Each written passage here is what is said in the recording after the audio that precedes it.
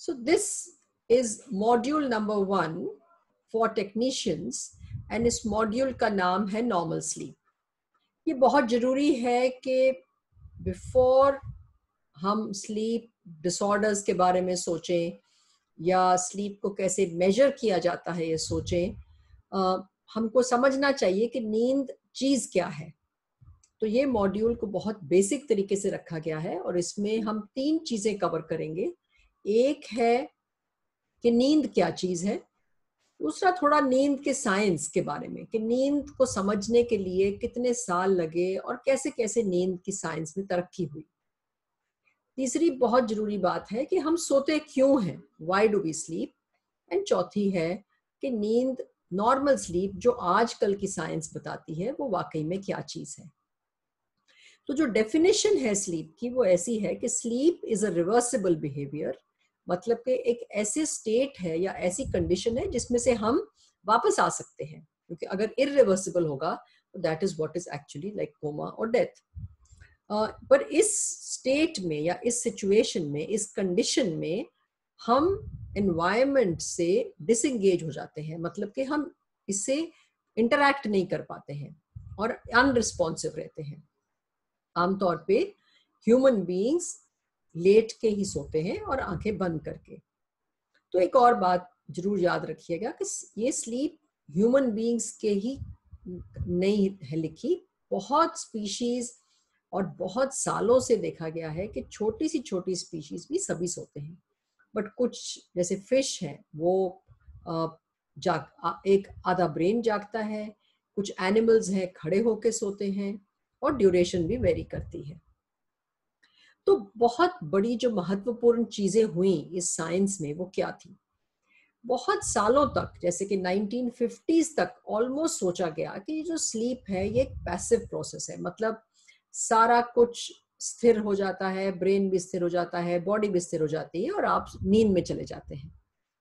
जो उसके बाद की साइंस ने ये बताया कि वाकई में ये सच नहीं है। स्लीप का जो स्टेट है या जो कंडीशन है, इसके अंदर ब्रेन बहुत ही एक्टिव रहता है और पूरी बॉडी एक्टिव रखता है और बहुत सारी चीज़ें धीरे धीरे एक जैसे एक ऑर्केस्ट्रा है या म्यूज़िक की बहुत इंस्ट्रूमेंट्स इकट्ठी बजती हैं, ऐसा कुछ चीज़ें होती हैं। तो ये आप मन में एक पिक्चर रखिएगा कि ब्रेन के अंदर there is like a master controller जो बाकी चीज़ें कंट्रोल करता है और वो इन टर्न पूरी बॉडी को कंट्रोल करते हैं। तो 1928 में हैंस बर्गर जर्मनी में थे, जिन्होंने एक ईजी e बनाई। मतलब कि एक साधन था कि हाँ हम ब्रेन की जो एक्टिविटी है, उसको भी समझ सकते हैं। पर उसके बाद कई साल और निकल गए और 1950s में कुछ साइंटिस्ट जो सैन फ्रांसिस्को कैलिफ़ोर्निया में थे, उन्होंने इस पे और गौर किया और समझा कि नींद के दौरान जब उन्होंने कुछ पेशेंट्स देखे या कुछ बच्चे भी देखे, उनकी आँखों की पुतली बहुत ज़्यादा हिल रही थी। तो ये क्यों हिल रही थी? इसके ऊपर इन्होंने अपने आप कुछ लोगों ने सेल्फ एक्सपेरिमेंट भी किया। और फिर इस नींद की एक डिस्कवरी करी, जिसको हम आजकल के टाइम में कहते हैं rapid eye movement sleep in short REM sleep इसके बारे में हम थोड़ा डिटेल में और आगे बात करेंगे।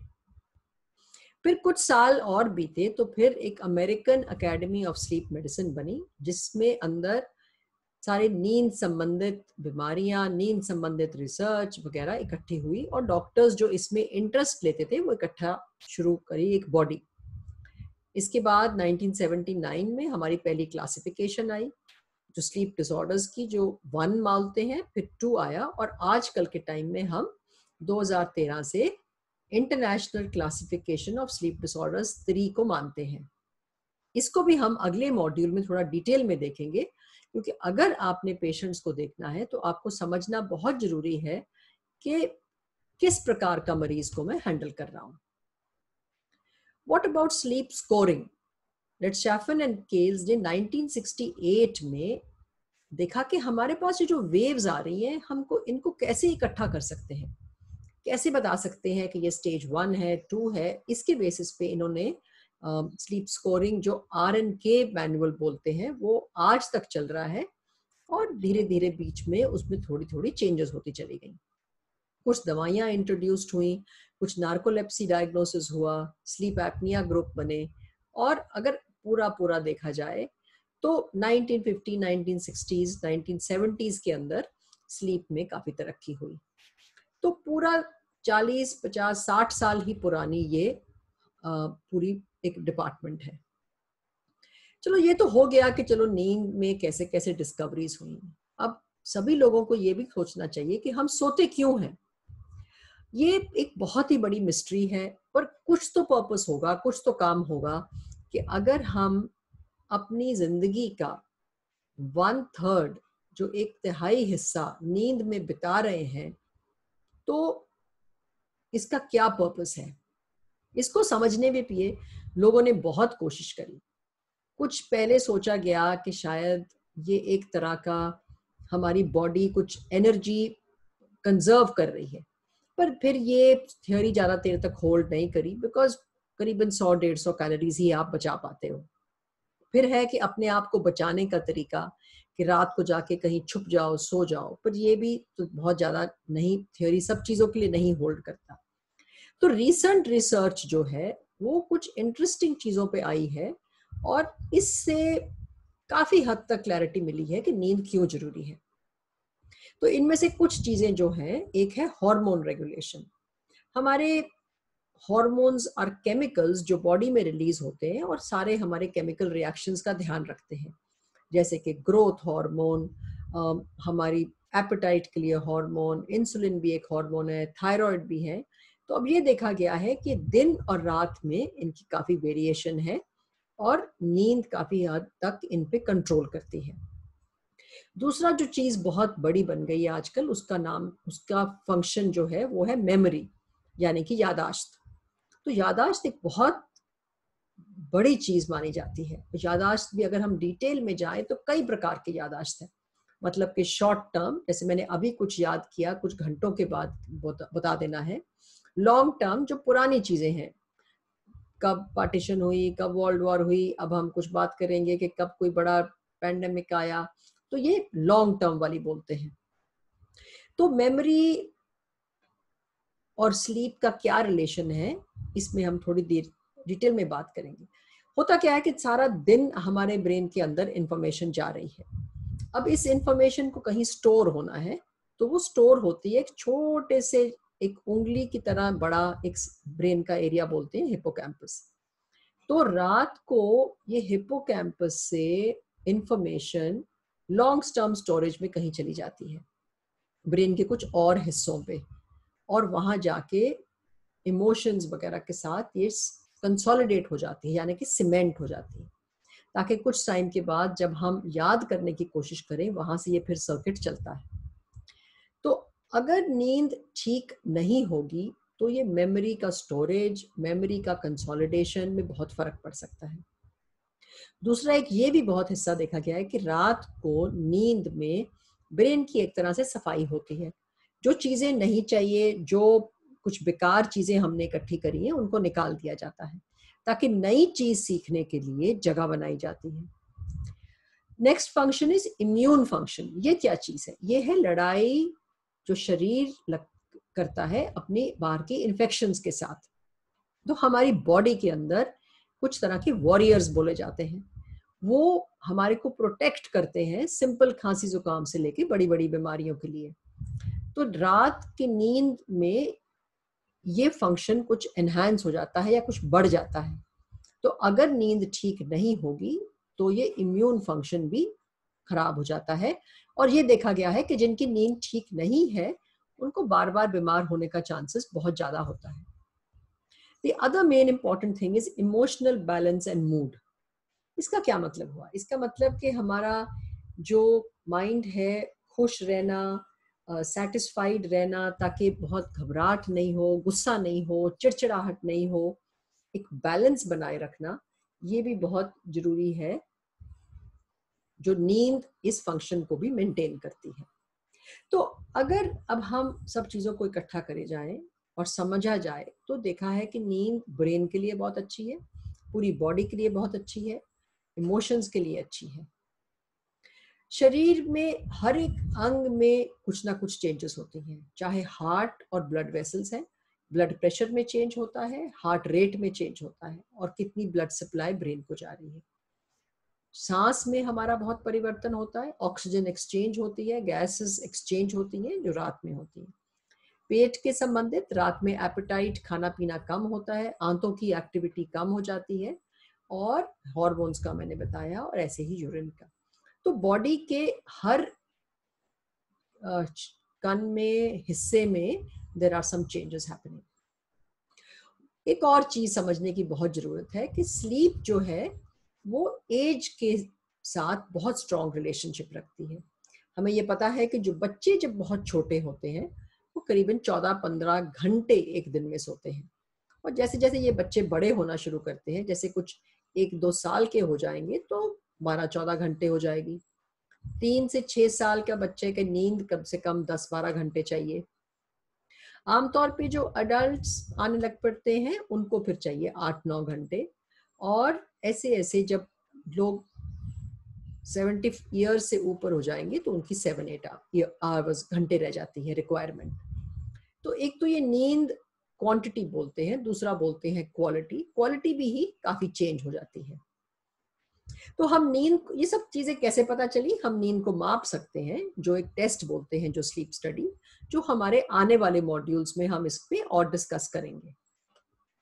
तो ये भी एक रिसर्च ने, जो हमने पहले डिस्कस किया कि स्लीप एक तरह का एक्टिव प्रोसेस है कि पैसिव ये अब ब्रेन को हम अब देख पाते हैं, समझ पाते हैं तो काफ़ी क्लियर हो गया है। तो अगर ये जो रेड एरियाज़ दिखते हैं आपको वो रेड एरियाज़ दिखाते हैं कि ब्रेन बहुत एक्टिव है।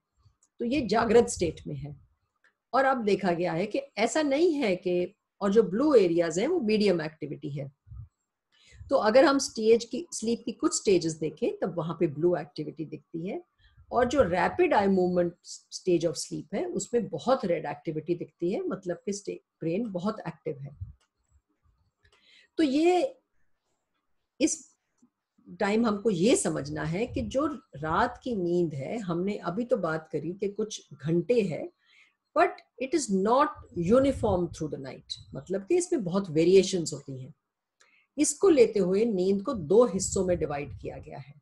एक जो हमने अभी बात करी, वो है रैपिड आई मूवमेंट जिसको हम रेम स्लीप बोलते हैं, और एक है नॉन रैपिड आई मूवमेंट जिसके आँखों की एक्टिविटी कम होती है, उसको हम नॉन रैपिड आई मूवमेंट बोलते हैं, उसको आगे चल के तीन हिस्सों में डिवाइड किया गया है।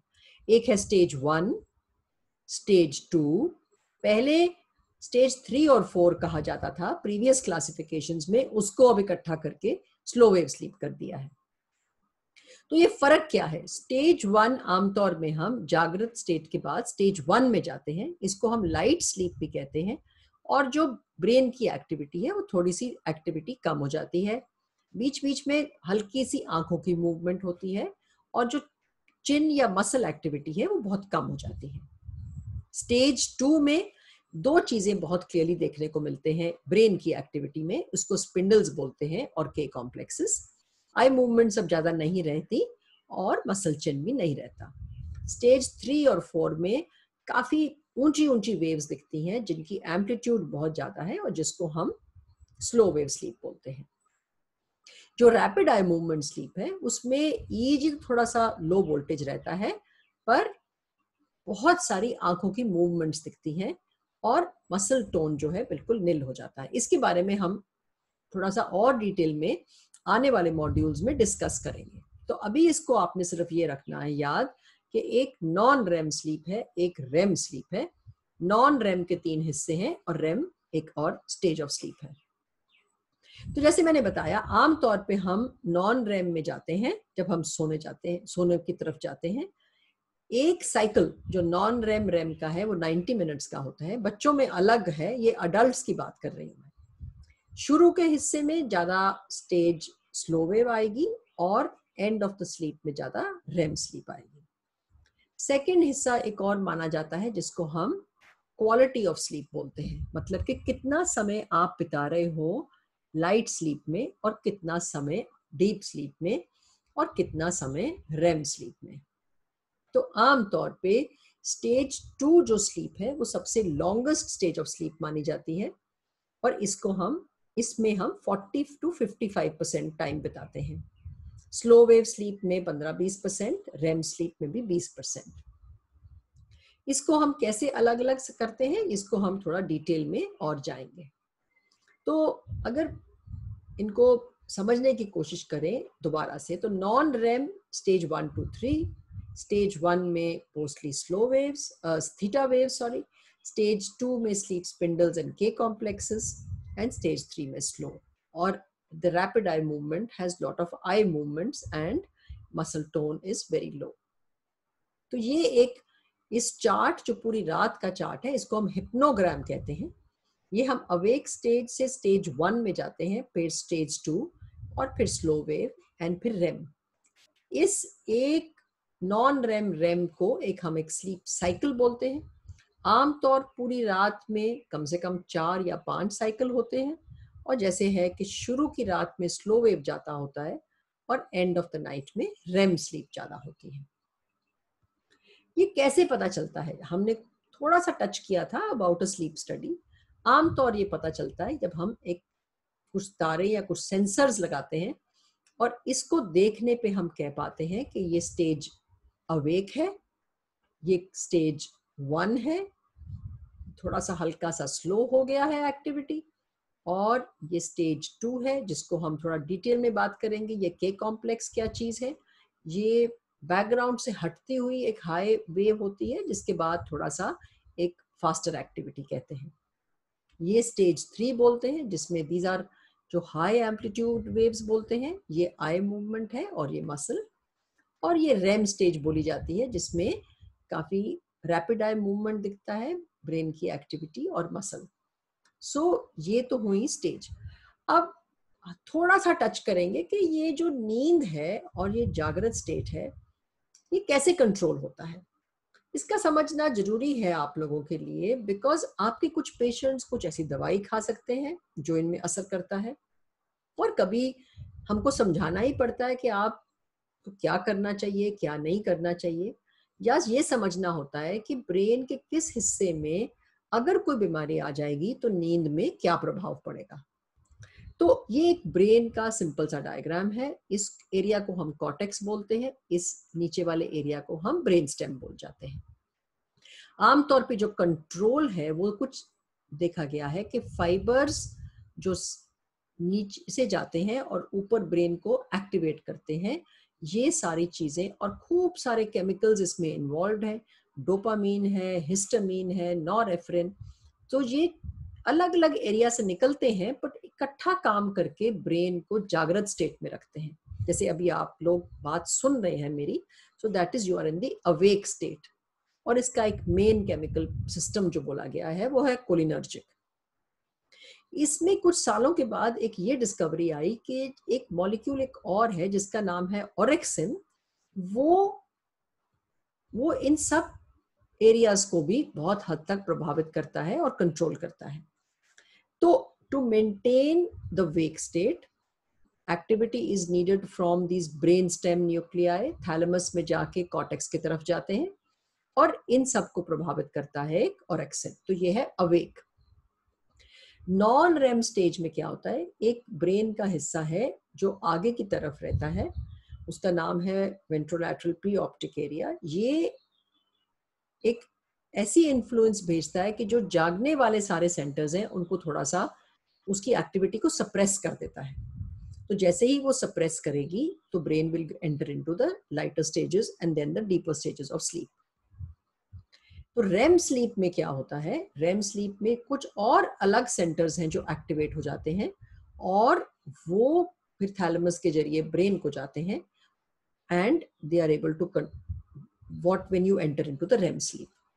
तो अब ये कैसा साइकिल है कि कब रेम आएगी, कब नॉन रेम आएगा, कब हम जागेंगे, कब हम सोएँगे? इसके लिए बहुत सारे साइंटिस्ट ने एक रिसर्च करके एक तरह का एक स्विच बुलाया है कि एक हमारे अंदर, एक बॉडी के अंदर एक स्विच है।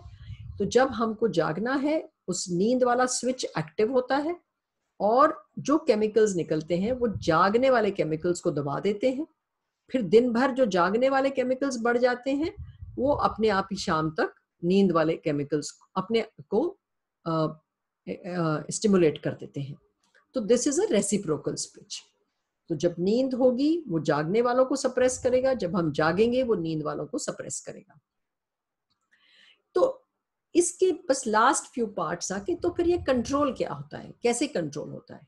इसमें एक एक और सिस्टम है स्लीप का, जिसको हम सर्केडियन बोलते हैं। सर्केडियन मतलब के एक सरका means and the day and the night it controls this system तो ये 24 घंटे का माना जाता है बट ह्यूमन बींग्स में थोड़ा सा 24 घंटे से ज़्यादा है। क्या चीज़ है जो इसको कंट्रोल करती है? वो है एक बहुत बड़ा सोर्स है लाइट पर दूसरी चीज़ें हैं हमारी एक्टिविटी हमारा खाना तो ये सब चीज़ें हैं जो इस सिस्टम को कंट्रोल करती है। इस सिस्टम से क्या निकलता है केमिकल उसका नाम है मेलेटोनिन ये कहाँ से निकलता है? ब्रेन में एक न्यूक्लियस है, जिसका नाम है सुप्राकेस्मेटिक। तो जब लाइट आँखों के अंदर जाएगी, वो एक पाथवे सेटअप कर देती है कि मेलेटोनिन रिलीज़ होती है। मेलेटोनिन जब बढ़नी शुरू होती है बॉडी में, वो कहती है कि चलो अब सोने का टाइम हो गया। तो नींद को कंट्रोल करने के लिए दो सिस्टम्स हैं। एक सर्केडियन सिस्टम जो भी मैंने बात करी, ताकि हम जब सुबह उठते हैं तो सर्केडियन ड्राइव लो रहती है फिर दिन में बढ़ती है एंड रात तक होता है कि अब सोने का टाइम आ गया। दूसरा सिस्टम है स्लीप ड्राइव स्लीप ड्राइव का मतलब होता है कि हमने कितनी स्ट्रॉन्ग डिज़ायर टू स्लीप है अभी। ये डिपेंड करती है कि आपकी पहले वाली रात कैसे बीती। तो अगर आपने पहले वाली रात कम नींद करी, जैसे कि चार घंटे, तीन घंटे, फिर सुबह बहुत ज़्यादा नींद आ रही होती है। बट अगर आपने रात की नींद ठीक बीती तो सुबह स्लीप ड्राइव इज़ लो और इसी तरीके से ऐसा हुआ है कि अगर ये दोनों सिस्टम्स ठीक तरह से काम करेंगे तो हम दिन में जो हम काम करते हैं तो we are alert bright productive और रात होते होते फिर हमारी एक्टिविटी और नींद की संभावना बढ़ जाती है। पर ये रिवर्स हो जाता है कुछ लोगों में जो कि शिफ्ट वर्क या जेट लैग जेट लैग से सफ़र करते हैं। तो टू कंक्लूड मैं ये कहना चाहूँगी कि आपको ये समझना है, जब आप पेशेंट्स से डील करें पेशेंट्स के बातचीत करें, कि नींद ना ठीक होना सारी बॉडी के ऊपर प्रभाव कर सकता है।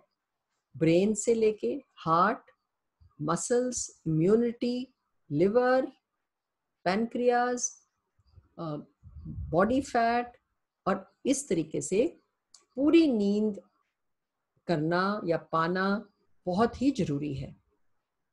तो to conclude sleep is a very complex process हमने दिखाया कि उसकी कुछ स्टेजेस होती है। It is a cyclical process नींद के तीन एस्पेक्ट्स बहुत ज़रूरी है। एक है क्वांटिटी मतलब कि कितने घंटे। दूसरा है स्लीप क्वालिटी मतलब कि मैं कितना समय stage one stage two stage three REM में बिता रहा हूँ। और तीसरा है स्लीप टाइमिंग कि कितने बजे सो रहे हैं? अगर आपने आठ घंटे सोए, पर आपने सुबह पाँच बजे सो रहे हैं तो timing is also an issue continuous balance रहता है हमारी बॉडी में कि नींद आने के केमिकल्स जगाने के केमिकल्स दोनों एक दूसरे के साथ अच्छा काम करते हैं, ताकि हम दिन में अलर्ट रहें और रात में नींद पूरी आए। ये बहुत सारे फैक्टर्स से अफेक्ट होती है नींद, जो कंट्रोल है लाइट है, हमारी फ़िज़िकल एक्टिविटी है, खाना है बट अभी भी बहुत सारी चीज़ें हैं जो पता चलती चली जा रही हैं। लोगों को पिछले तीन साल पहले भी नोबेल प्राइज मिल रहे हैं स्लीप की रिसर्च में। तो ऐसा नहीं है कि हमें सब कुछ इसके बारे में पता चल गया है। तो which we have all gone over and I would suggest keep this in mind थोड़ी थोड़ी चीज़ें हमने कुछ किताबों में भी रखी हैं और बीच में आपको यूट्यूब चैनल में भी पता चल सकती हैं। इसके बाद uh, अगले मॉड्यूल पे हम थोड़ा डिटेल में बात करेंगे कि स्लीप स्टेजेस क्या हैं और स्लीप डिसऑर्डर्स क्या हैं। Thank you so much